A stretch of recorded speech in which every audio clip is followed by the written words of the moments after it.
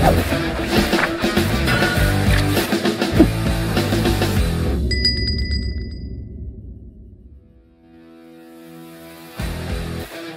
네, 안녕하세요. 오늘 2023년 11월 9일 오프닝 벨 라이브 시작을 해보도록 하겠습니다. 저는 염승환 이사고요. 제 옆에는 김종희 의원님 오늘도 나와 계십니다. 안녕하세요. 네, 안녕하십니까. 네, 안녕하세요. 방금 이제 주식시장이 아주 뭐, 예, 좀 상승하면서 출발을 잘해줬네요. 오늘 코스피가 2,433포인트, 0.97% 비교 좀 크게 오르면서 지금 오늘 상승 출발을 했고요. 상승은 한 600개가 넘는 좀 좋은 모습입니다. 그리고 코스닥도 역시 오늘 좋은 출발인데요. 7포인트 정도 올라서 0.9% 상승을 했습니다. 다시 한번 이제 800선을 좀 도전을 할 것 같은데요. 상승 종목은 한 1000개 정도 그 다음에 하락은 한 350개 정도로 일단 출발은 양호합니다.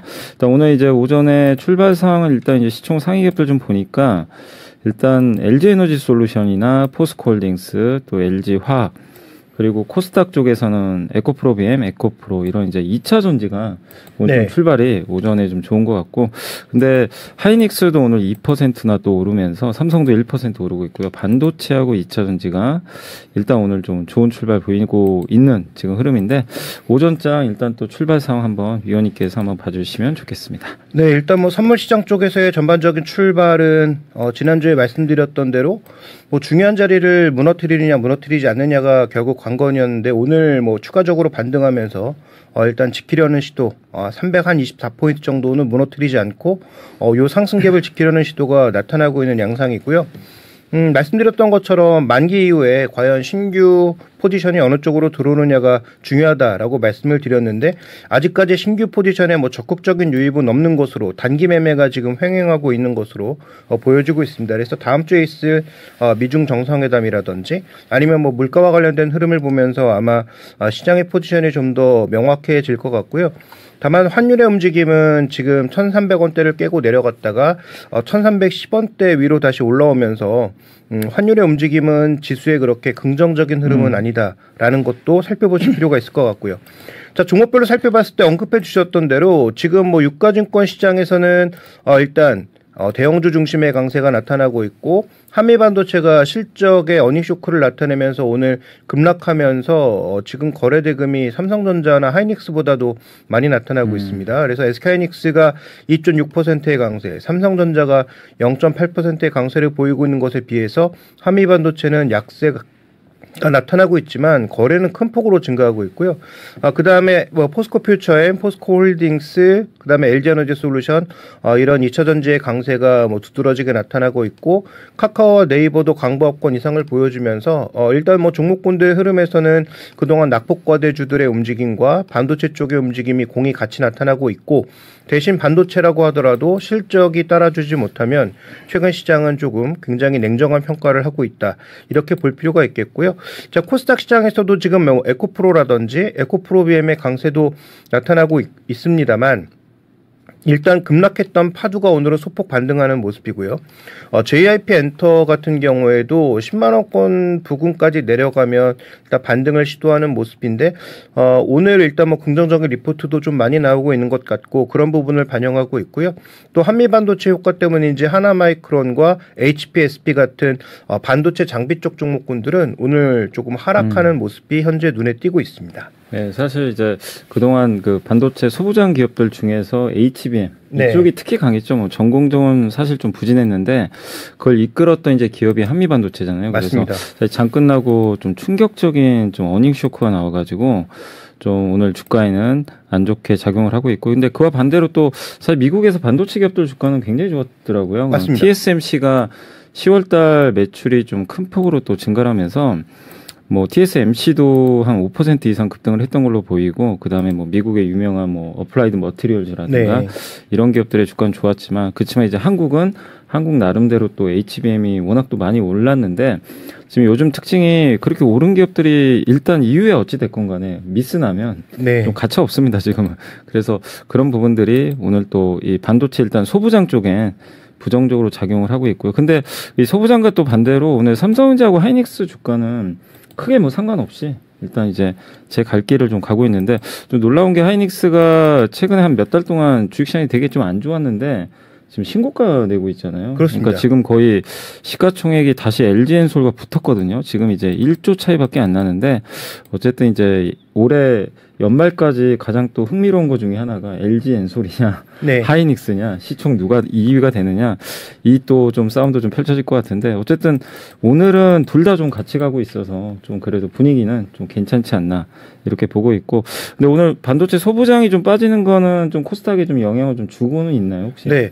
그 아무래도 지금 현재 구간에서는 말씀해 주셨던 대로 한미 반도체의 실적 때문에 조금 타격이 나타나고 있는 것으로 볼 수가 있겠고요. 네.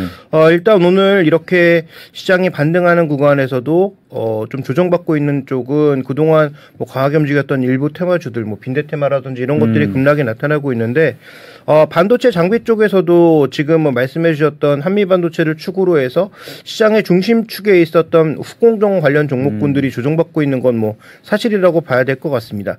그런데 오늘은 일단 양시장 모두 어, 강보합권 이상의 반등을 보여주면서 낙폭이 크게 확대하는 종목은 뭐 별로 존재하지 않는 네. 모습이고요. 네.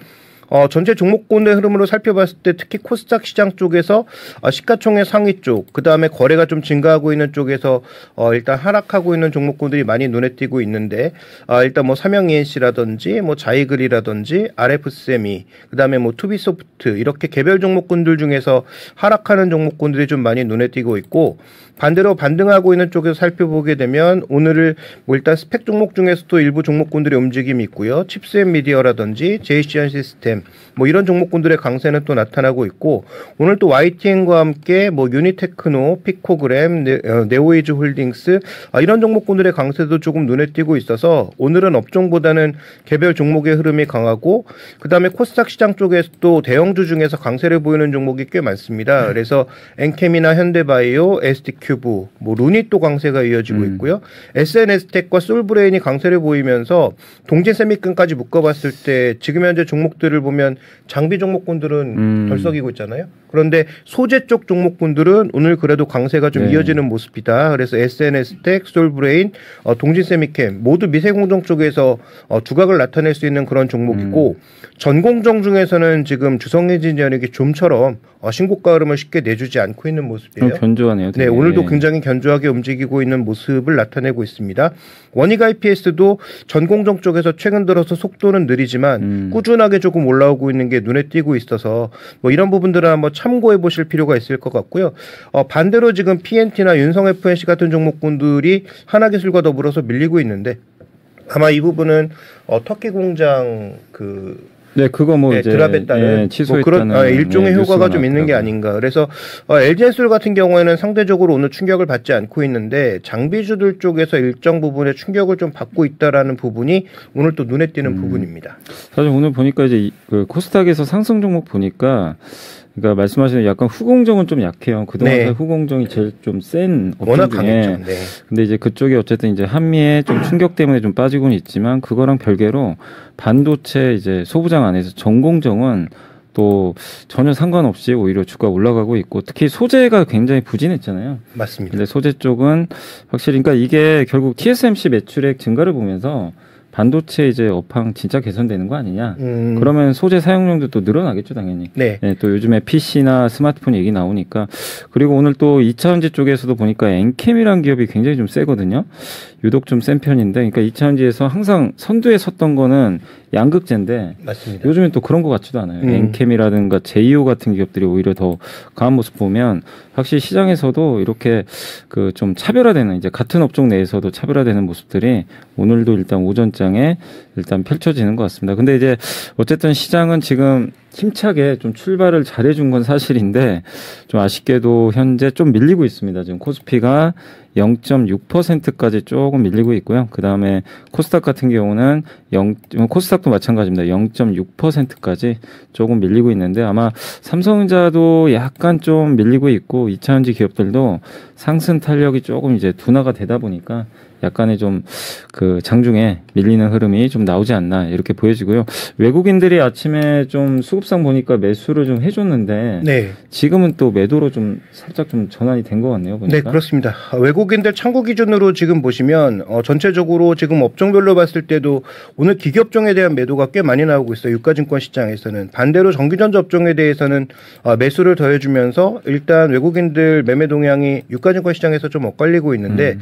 어, 기계 쪽은 한미 반도체 매도라고 봐야 될 것 같습니다. 그래서 오늘 한미 반도체에 대한 매도 금액이 가장 크게 나타나고 있고 뒤를 이어서 현대차 어, 최근에 현대차 뭐 기아차에 대해서는 여전히 실적이 좋다. 그 다음에 내년에도 실적이 크게 꺾이지 않을 것 같다라는 전망이 지속적으로 나오고 있음에도 불구하고 일단 뭐 주가는 계속 정체되어 있는 양상이고요. 반대로는 외국인들의 선호도는 여전히 SK하이닉스가 1위, 삼성전자와 네이버, 카카오 같은 종목군들의 어, 뒤를 잇고 있는 모습이어서 특히 최근에 뭐 카카오 주가도 좀 반등하고 있는 모습인데 어, 외국인 기관 수급들이 조금씩 계속 채워지고 음. 있거든요. 물론 이게 뭐 진짜 반등을 위한 뭐 수급의 반등인지는 모르겠지만 어쨌든 카카오 쪽의 최근에 수급은 조금 개선되는 모습을 나타내고 있는 점도 특징적인 부분이고요. 또 하나 최근 들어서 계속 신고가를 보이고 있는 대표 종목 중에 하나가 뭐 전체 업종이 같이 가는 건 아닌데 HD 현대 일렉트릭 같은 종목이 최근 들어서 또 강세가 이어지고 있고 외국계 창구 쪽에 매수도 이어지고 있고 또 최근에 뭐 중동 쪽에 추가 수주 소식도 어, 들어오는 등 뭐 일단 전체적인 흐름은 어, 일단 이쪽에서 좀 긍정적인 모습을 나타내고 있는 것 같습니다. 어, 반면 오늘 반등을 하더라도 LG화학이나 LG 에너지 솔루션, 삼성 SDI, 뭐 그다음에 현대차까지 자동차 계열이나 전기차 계열의 종목군들에 대해서는 오늘은 일단 창구 기준으로는 좀 매물이 나타나고 음. 있어서 이게 어떻게 보면 시장 탄력을 조금 떨어뜨리는 네. 하나의 요인으로 작용을 하고 있습니다. 네. 그래서 요즘에 이제 아까 카카오 얘기도 해주셨는데 사실 카카오가 뭐 욕이란 욕은 어마어마하게 먹었잖아요. 먹고 그렇죠. 주주분들도 너무나 힘드셨는데 어쨌든 최근엔 굉장히 좀 센 편인 게 결국 그 시장에서 이제 더 이상 좀 여기서 더 나쁠 게 있겠냐 하는 좀 시각하고 실제 이제 네이버 뭐 카카오 또 게임주들 보면 인건비 부담이 많이 줄어들기 시작을 하더라고요. 그러니까 그런 것들이 내년 실적에 대한 이제 기대감을 높여주는 것 같고 또 흔히 빈집이라 그러죠. 너무 네. 비어 있었죠 사실. 그래서 게임이나 이런 인터넷 섹터에 대해서 이런 이제 그 어떻게 보면 빈집털이가 좀 시작이 되면서 매수가 들어오는데 이제 관건은 그거죠. 이게 추세적으로 계속 올라갈 수 있겠느냐. 그렇죠. 근데 네. 이게 어쨌든 기술적 반등 아니냐 이런 음. 시각들도 팽배하기 때문에 근데 결국 그걸 결정하는 거는 수급 저는 어쨌든 그걸 결정하는 건 수급은 아니고 수급은 단기잖아요. 어쨌든 그렇죠. 네. 결국 펀더멘털인데 이 구조적인 성장이 다시 나올 수 있겠느냐 거기에 대한 확신을 또 네이버 카카오 스스로 보여줘야 맞습니다. 추세적 상승이지 단지 그냥 외국인 기관이 산다고 해서 추세적으로 올라가는 건 절대 아니거든요. 그래서 이 혹시 주주분들도 계속 뭐 지금 당장 우리가 알 수는 없지만 앞으로 카카오나 네이버 뭐 아니면 게임주들의 흐름들을 보실 때 그런 것들 회사가 좀 추구하는 방향이나 이런 것들이 좀 구조적으로 성장하는 할 수 있는 흐름인지 네. 그런 걸 좀 보시면 좋겠고 그러니까 지난주에 좀 그 사실 개인 투자분들 중에서도 파로비스 투자하신 분들이 상당히 많은데 그렇죠. 좀 안타까웠던 게 금요일 날도 말씀드렸지만 약간 좀 신뢰를 깨버렸거든요. 음. 이- 이게 자꾸 연기가 되다 보니까 그래서 그런 것들을 좀 계속 잘 체크를 하시면서 대응하시면 좋겠고 오늘도 이게 제가 섹터를 보니까 가장 센 섹터가 가상화폐 쪽이에요. 요즘에 네. 뭐 비트코인하고 암호화폐. 근데 사실 뭐 저는 그쪽을 잘 모르기 때문에 뭐 제가 뭐 뭐라고 말씀을 드리긴 좀 어렵지만 이쪽이 이제 결국 ETF 그 현물 승인 기대감 때문이 아닌가요 혹시? 네 맞습니다. 뭐 거기에다가 이제 비트코인 같은 경우에는 내년에 반감기 네. 그런 뭐 수급적인 요인까지 작용을 하고 있는 모습이고 일단 이쪽에 들어오려고 하는 게 어, 대형 펀드가 들어온다는 소식 때문에 음. 일단 어, 장기적으로 봤을 때는 오히려 가상자산을 사는 수요가 좀 줄고 ETF 그 금융. 상품의 수요가 늘어날 수 있다라는 것을 우리가 중장기적으로는 봐야 되는데 어쨌든 최근 시장이 조금 약해진 상황에서 명확하게 고개를 들고 있는 쪽이 있다 보니까 아, 이런 종목군들이나 가상화폐에 대한 관심은 여전히 나타나고 있다라고 음. 봐야 될 것 같고요. 뭐 최근 들어서는 뭐 가장 강하게 움직이고 있는 종목 중에 하나가 뭐 워낙 이제 뭐 시총이 낮으니까 뭐 별로 이렇게 언급하고 싶진 않은데 네. 뭐 위지트라든지 뭐 갤럭시아머니트리 뭐 이런 종목군들의 강세가 일부 나타나고 있고 그다음에 게임주와 결부지어서 위메이드 같은 종목군들도 뭐 실적 충격도 있었지만 네. 어쨌든 이런 것들이 같이 작용하고 있는 모습이잖아요. 어, 다만 어, 저도 뭐 이쪽에 투자를 하고 있지 않고 큰 관심이 없기 때문에 이쪽에 들여서 말씀드리고 싶은 것은 음. 결국은 어, 이 가상 자산 같은 경우 24시간 거래가 되잖아요. 네네. 그래서 우리는 거래 끝나고 예를 들어서 거래를 할 수 없는 시간에 갑자기 뭔가 변화가 크게 나타났을 음. 때 그럼 다음날 아침에 갭하락을 대응해야 되는 상황이니까 아, 이런 종목에 투자하실 때는 충분히 리스크를 고려하신 다음에 음. 투자하시는 게 좋을 것 같고 개인적으로는 이들 가상화폐, 가상자산의 어떤 시가총액 비중이 전 세계 자산에 아직까지 그렇게 큰 비중을 차지하지 않, 않고 있다라는 점을 염두에 두시면서 좀 접근하시는 게 좋지 네. 않을까 이렇게 보고 있습니다. 네, 그래서 참 이게 2년 전에 정말 그 비트코인이나 그 NFT가 정말 뜨거웠고 네. 당시에 뭐 위메이드가 황제주였죠 사실은 어떻게 보면 그렇습니다. 대장주였는데 그게 이제 좀 몰락을 해버렸죠. 근데 이제 오랜만에 2년 만에 다시 또 그때 장세랑 좀 비슷한 느낌의 음. 흐름이 좀 최근에 펼쳐지는 그런 상황이 뭐 일단 오늘까지도 오전에 이 전해지는 것 같습니다. 다만 이제 오늘 좀 강세 기업들이 그래도 좀 상당히 많은 편이긴 한데 오늘 좀 하락하는 기업들도 아까 이제 반도체 공정이 좀 대표적이긴 한데 좀 몇 개 더 있으면 한번 좀 집어주시면 좋을 것 같아요. 네, 뭐 일단 경론 같은 종목군들이 조정을 받고 있는 게 눈에 띄고 있는 모습이고요. 그 다음에 아까 말씀드렸던 일단 어, 이 2차 전지 관련 쪽에서 장비 쪽 종목군들의 조정 전체적으로 음. 좀 눈에 띄는 그런 모습이고, 그 다음에 최근 들어서 일단 바이오 쪽도 개별 종목의 움직임이 조금 있었는데, 아, 오늘은 뭐 개별적으로 좀 하락하는 종목군들이 몇 개 눈에 띄고 있는 양상입니다.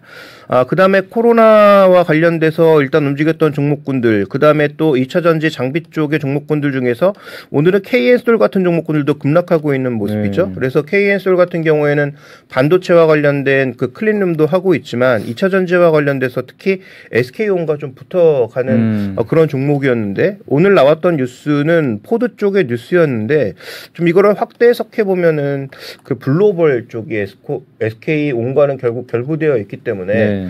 어, SK온의 미국 쪽의 상승은 결국은 포드와 같이 가는 쪽이 가장 크다라고 봐야 될 텐데 이 포드가 최근 들어서는 워낙 잘 못하고 있는 데다가 네. 실적도 안 나오고 있고 투자 추- 어, 그 취소 소식도 계속 나오고 있는 부분이 있으니까 아, 그쪽 계열과 좀 붙어서 움직이고 있는 종목군들은 조금 잘 살펴보실 필요가 있을 것 같고요. 그 다음에 아까 이제 살펴봤을 때만 해도 JYP 엔터가 강세권이었는데 지금은 외국계 창고에 매수가 유입되고 있음에도 불구하고 2% 이상의 약세를 나타내면서 다시 10만 원에 붙고 있는 모습이고요. 오늘은 SN과 YG 엔터 같은 다른 종목군들도 조정이 나타나고 있는 모습입니다. 이게 엔터주들이 제가 이제 실적을 보면 그게 나쁘지 않거든요. 네. 대부분 이게 이- 보고서 읽어봐도 내용도 괜찮아요. 뭐 네네. 4분기도 좋다. 근데 이게 마치 왠지 그 자동차 보는 느낌이에요. 잘 나와도 음. 다 안다 우리. 예. 약간 이제 뭔가 더 성장을 보여달라는 것 같은데, 근데 이게 이 정도로 빠질 상황은 아닌 것 같은데 이렇게 부진한 건 결국엔 이제 시장에서 뭔가 이제 올해 성과가 너무 좋기도 했지만 뭔가 이 이상의 뭔가 차별화된 요소를 보여달라는 것 같긴 한데 네. 사실 그게 당장 나오긴 또 사실 쉽진 않잖아요 지금 엔터주들이 그렇죠. 지금 뭐 새로운 어 아티스트들이 나와서 그또 아티스트들이 또 뭐 하이브에 최근에 올해 뭐 한 해 엄청나게 잘 어, 했죠. 화려했던 예. 어, 그런 예. 아티스트만큼의 효과를 보여줄 거냐는 아직은 검증이 좀 필요한 부분이고요. 특히 뭐 JYP나 하이브 같은 경우에는 아, 미국과 연관된 프로젝트가 지금은 아, JYP는 이제 곧 나올 수 있는 상황인데 네. 어, 지금 유튜브 조회수를 보면 조금 애매한 게 음. 평균 조회수가 한 300만 정도 되는데 네네 이건 뭐 대박이라고 하기엔 조금 애매하고 음. 그렇다고 또 안 나왔다고 하기도 어렵고 아, 이 정도의 프로젝트가 데뷔했을 때 어떤 퍼포먼스를 보여줄 것인가가 결국은 시장의 핵심이 될 것 같은데 네. 일단 JYP 같은 경우에는 그 부분을 계속 검증해 볼 필요가 있을 것 같고 그러니까 기존에 잘하고 있는 스트레이키즈나 아니면 뭐 그룹 이름이 갑자기 생각이 안 나네요. 어, 트와이스. 아, 트와이스. 이, 이들이 뭐 네. 지금 워낙 뭐 수익을 잘 내고 있으니까 이들의 어떤 그 수익치는 기본으로 가져가되 그러면 여기서 플러스 알파가 팡팡 터져야 되는데 3분기에 일단 좋아진 것은 니주였거든요. 음. 어, 니주가 일단 뭐 공연에서 큰 수익을 내기 시작하면서 일본 쪽에서는 확실하게 안착한 흐름을 보여주고 있고 네. 어, 이번에 또 이제 니지라고 해서 일본의 남자 아이돌을 데뷔시키지 않습니까? 음. 그러니까 일본 시장에서 어느 정도의 확실한 업력과 그 다음에 우리나라의 어떤 이 아티스트들을 육성하는 방법 어, 이런 것들이 먹히고 있다라는 것은 일본까지는 확인이 됐는데 만약에 이제 미국에서도 확인이 된다면 저는 뭐 지금의 주가에서는 뭐 추가적인 반등 여력이 있다라고 보는데 아마 이건 좀 확인이 필요한 것 같고요. 음. 그다음에 SN 같은 경우에는 뭐 다 아시는 것처럼 실적 자체는 좋았지만 아, 이 실적을 이어갈 수 있느냐의 어떤 그런 네. 흐름과 더불어서 카카오를 둘러싼 변동성 자체가 여전히 좀 부담이 되는 음. 것으로 해석해 보고 있습니다. 네, 그래서 사실 엔터주 갖고 계신 분들도 이게 답답할 수밖에 없는 게 뭐 정말 확실히 뭐가 안 좋아져서 빠지면 그러니까요. 그걸 뭐 네. 이해를 하죠, 당연히. 근데 사실 그런 부분은 딱히 보이지는 않는데 물론 이제 노이즈가 올해 좀 하반기 좀 많았어요. 뭐 블랙핑크 맞습니다. 재계약 이슈부터 네네. 해서 뭐 약간 이제 일부 연예인들의 그 마약 이슈라든가 이런 네. 것들이 또 확대 해석되고 막 이러면서 상당히 이제 리스크가 좀 일부 있었는데 그런 상황에서 숫자는 어쨌든 검증은 되고 있지만 어쨌든 시장은 일단 그 엔터조에 대해서는 조금 지금 오늘 현재까지 모습은 그렇게 좀 탐탁치 않게 좀 생각을 하는 게 아닌가 일단 이렇게 보여지고 자 오늘 이제 증시가 지난주 월요일 날을 저희가 출발했을 땐 정말 좀 생각보다 좀 낮게 출발했다가 결국 어마어마한 폭등장이 나온 네. 후에 그리고 정말 답답했죠 일주일 내내 빠져가지고 너무 힘들었는데 오늘도 사실 만족스럽지가 않아요. 출발은 좋았거든요. 근데 보시다시피 코스피도 10포인트까지 좀 밀려버렸고 지금 코스닥은 0.36%니까 강보합 수준까지 밀려버린 것 같아요. 또 보니까 아까 엔터주도 안 좋지만 지금 에코프로비움도 보합까지 다시 밀려버렸고 네네. 2차 전지 힘을 못 쓰고 후공정도 지금 사실 굉장히 이 시총이 크거든요. 큰 편인데 여기도 좀 밀리고 있고 그래서 전체적인 시장 흐름은 여러분들이 좀 기대하셨던 그러니까 미국의 좀 이게 훈풍을 받아서 한 번 더 오늘 또 반도체 굉장히 좋았잖아요 미국에서 맞습니다. 그래서 한 번 더 좀 강한 상승을 기대하셨던 분들 입장에선 약간 이제 현재까지 물론 뭐 아직 장이 끝나진 않았지만 좀 약간 힘이 빠지는 그런 오늘 오전장 흐름이 좀 나와주고 있는 것 같습니다. 이렇게 좀 시장이 약간 좀 답답한 이유가 있을까요? 우리나라 증시가 이게 어쨌든 이제 지난 월요일 날 너무 급등한 데 따른 휴유증이 계속 이어지고 있는 건지 네네.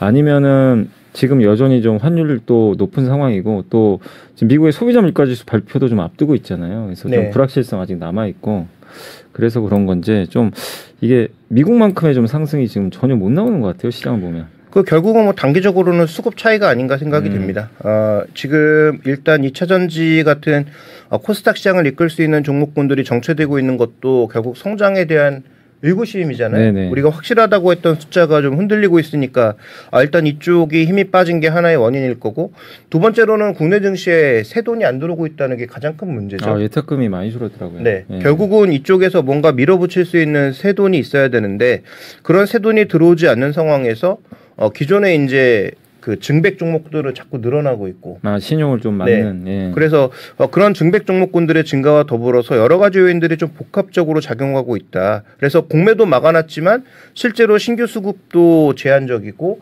그다음에 예전에는 뭐 좀 더 폭을 키워서 살 수 있었던 부분들도 줄어들고 있는 상황이기 때문에 음. 어, 지난주에 그 공매도 금지 때문에 하루 급등했던 날을 제외한다면 전반적인 거래의 에너지가 음. 여전히 붙지 않고 있는 게 가장 큰 핵심이 음. 아닌가라고 보고 있고요. 그러니까 역으로 되짚어서 꾸준하게 외국인 수급이 유입되고 있는 하이닉스는 강한 거죠. 그, 그런 것 같아요. 네, 그러니까 네. 지금 현재 구간에서 어, 꾸준하게 방향성을 가지고 수급이 유입되고 있는 하이닉스 정도로 제외한다면 나머지 전체 시장의 대회에서는 뭐 이슈 나올 때마다 등락이 커질 수밖에 음. 없는 상황이고요. 다만 오늘 같은 경우도 우리가 어, 너무 또 실망할 필요는 없는 게 네. 아직까지 외국인들의 매물량이 그렇게 많은 게 아니에요. 음. 뭐 선물 시장도 그렇고 코스피 코스닥 모두 어, 100억대 정도의 굉장히 작은 순매매 금액을 가져가고 있으니까 어, 결국은 누군가 하나 강하게 매수가 들어오거나 그 다음에 11시 구간에 홍콩 증시라든지 그 다음에 뭐 중국 증시 출발하면서 뭔가 방향을 돌려주면 음. 언제든지 다시 또 외국인 수급은 좋아질 수도 있는 방향이 있으니까 지금 너무 뭐 실망 할 필요는 없다라고 음. 보여지고 있고 저는 그래서 계속 말씀드리지만 어, 지난 어, 월요일 날 지난주 월요일 날 나타났던 요 강력한 상승 갭을 강하게 무너뜨리지 않는다면 음. 일단은 다음 모멘텀 나올 때까지는 최소한 이 정도 구간 안에서의 박스가 형성될 가능성이 음. 높다. 이렇게 좀 보고 있습니다. 아, 그러니까 지금 현재 이제 그 지난 월요일 날 시초가는 좀 현재 그래도 유진되고 있다. 네, 네. 어느 정도 잘 버티고 있는 상황이죠. 예. 그래서 어, 요 정도의 가격이 크게 붕괴되지 않는다면은 오늘 뭐 탄력을 줄이는 것, 뭐 이따가 한 시간 지나고 나서 또 바로 바뀔 수 있는 음. 부분 아니겠습니까? 그래서 너무 큰 우려를 하시기보다는 지금 현재 시장은 새 돈도 들어오지 않고 누군가 강하게 밀어붙일 만한 그런 세력과 주도주가 부재하다라는 것을 주목해 볼 필요가 있을 것 음. 네, 같습니다. 지금 아직까지는 지금 뭐 사실 개인 투자분들의 매수 여력은 제가 봤을 때는 크지 않은 상황인 것 같고 제한적이겠죠. 예. 네. 그리고 오히려 사실 항상 연말에 걱정되는 게 양도 차익 과세 물량 오히려 나올 수도 있다 보니까 네. 근데 이제 그걸 정부에서 좀 완화해 주겠다라는 뉴스가 나왔는데 또 추경호 부총리 주말에 또 뉴스 보니까 아직 확정된 게 없다고 네. 일단 좀 약간 선을 또 그으시더라고요. 그러니까 뭔가 계속 시장의 간을 보는 듯한 네. 그런 모습이에요. 그래서 뭔가 확실하게 빨리 결정을 좀 해주면 네. 좋을 것 같은데, 음, 참그 기대는 어차피 계속 네, 존재하게. 그게 좀 되면 저는 네. 그래도 개인 수급이 좀 바뀔 것 같아서 어, 수급적으로 매물은 줄어든다는 것만으로도 네. 효과가 있는 거죠. 네. 그래서 그걸 좀 기대하시는 분들 계실 텐데 일단 조금은 더 지켜봐야 되겠고 그러니까 결론적으로 증시가 여기서 올라가려면요 지금은 외국인밖에 없는 것 같아요. 네. 네, 그래서 근데 외국인 사고 있는 종목이 너무 네, 제한적이어서. 그러니까 네. 이게 너무 반도체에만 집중돼 있더라고요. 거의 상계 반도체 외에는 대부분이 없어요. 그러다 보니까 이 하이닉스 외에 다른 업종을 좀 사는 모습이 좀 나올 때 그때 한번 또 시장이 또 한번 훈풍이 불지 않을까 좀 싶긴 한데 아직까지는 좀 제한적인 그런 모습들이 좀 여전히 펼쳐지는 것 같습니다. 자, 그리고 제가 오늘은 보고서 하나만 좀 가져와 봤는데요. 뭐 다른 건 아니고 그 이 미국장 끝나고 신용등급 강등이 아니 네. 그 강등이 아니고 죄송합니다. 신용등급 전망. 전망을 전망을 네. 하향했죠. 예, 그래서 그거 관련해서 한번 이제 리포트가 나온 게 있어서 한번 그거 보면서 근데 너무 좀 그 우려할 필요는 없다라는 그런 내용입니다. 이게 등급이 강등된 게 아니라 이제 전망이 강등돼서 한 거니까 한번 좀 이렇게 보여주시면 그러니까 미국의 국가 신용 등급 전망은 안정적에서 부정적으로 강등을 했고요. 이게 이유가 금리 상승과 의엔의 정치적 양극화에 따른 비용이 원인이다. 그래서 신용 등급 전망 하향 등급 전망 하향은 이게 이제 앞으로 미국의 신용 등급이 중장기적으로는 내려갈 가능성도 있다라는 뭐그 물론 좋은 내용은 당연히 아닙니다. 근데 6개월 내에 등급 리뷰 의무가 있는 부정적 관찰자 대상 지정보다는 조금 낮은 단계의 경고라고 합니다. 그러니까 이 다음에 이제 부정적 관찰 대상자 지정으로 가게 되고요. 그 다음이 이제 신용 등급을 강등하는 그런 네. 순서라고 보시면 돼요. 그러니까 지금 뭐 등급 전망을 부정적으로 바꿨다고 해서 뭐 갑자기 신용 등급 낮추거나 그럴 가능성은 높지 않다 이렇게 보시면 되겠고 아까 이제 그래프에도 이게 보시면 나와 있지만 이 왼쪽에 있는 그 그래프 보시면 신용 등급 전망을 하향했던 그리고 과거에 부정적 관찰 대상 그러니까 신용 등급을 하향한 건 아닙니다. 그랬을 때 대부분 주가가 그 이 D 플러스 0일 기준으로 대부분 또 올라갔었어요. 음. 이렇게 크게 빠지는 경우들은 별로 없었습니다. 2011년도에는 한번 올라갔다가 좀 빠진 적이 있지만 대부분은 다 올라갔기 때문에 영향 없었고 저 오른쪽은 실제 신용 등급이 강등됐을 때 두 번이잖아요. 2011년, 네. 2023년. 근데 두 번 다 주가가 빠졌죠. 근데 빠지고 나서 다 올라가 버렸어요. 그렇기 때문에 사실 이번에 그 신용 등급 강등 그 전망 강등에 대해서는 뭐 이렇게 너무 크게 염려할 필요는 없다. 물론 좋은 뉴스는 아니지만 그렇게 시장에 영향을 줄 만한 이슈는 아니라고 보시면 되겠고 오히려 좀 걱정은 그거예요. 이제 11월 17일 날 임시 예산안 네. 이게 이제 협의가 되느냐.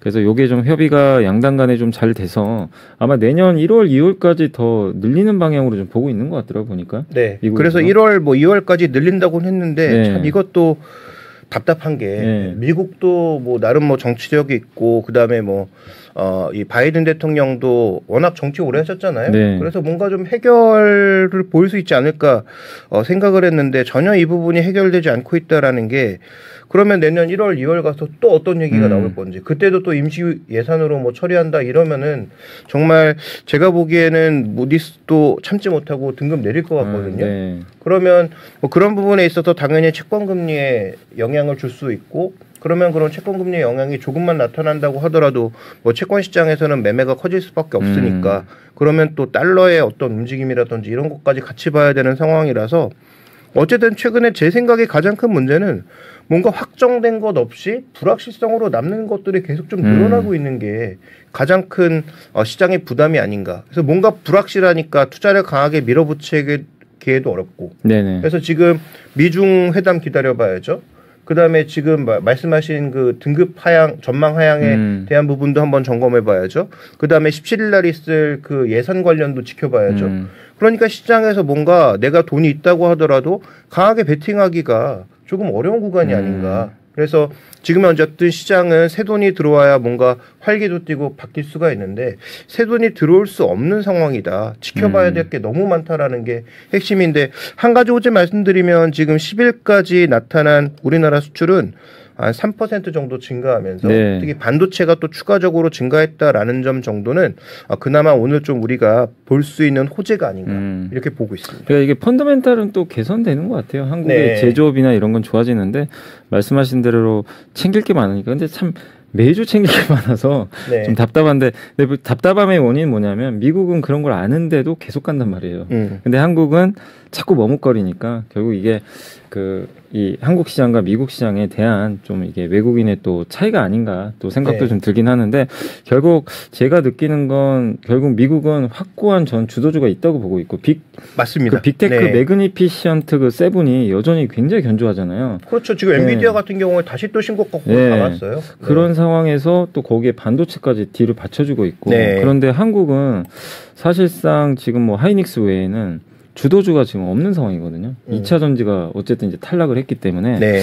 그런 상황에서 지금 상당히 좀 어려운 흐름들이 계속 이어지는 것 같습니다. 결국 이거를 이겨낼 방법은 다시 한번 또 주도주가 나와야 될 것 같은데 예, 멱살 잡고 끌고 갈 그 주도주가 뭐가 될지 그것도 한번 계속 좀 저희도 관찰을 해보도록 하겠습니다. 그리고 제 마지막 페이지 보여주시면 제가 이제 일정 이번 주 일정 그래도 다시 한번 좀 정리해드리면 내일 이제 미국의 소비자 물가 지수 발표되니까 한 3.3% 예상하고 내일입니다. 내일 상장 기업 그 3분기 보고서 내일 다 마감을 해야 됩니다. 이제 일부 뭐 그 신규 상장한 기업들 몇 개 빼고는 대부분의 기업들은 내일 다 그 보고서가 나오니까 이제 실적 아마 다 내일까지 나올 것 같아요. 그래서 그거 꼭 챙겨 보시고요.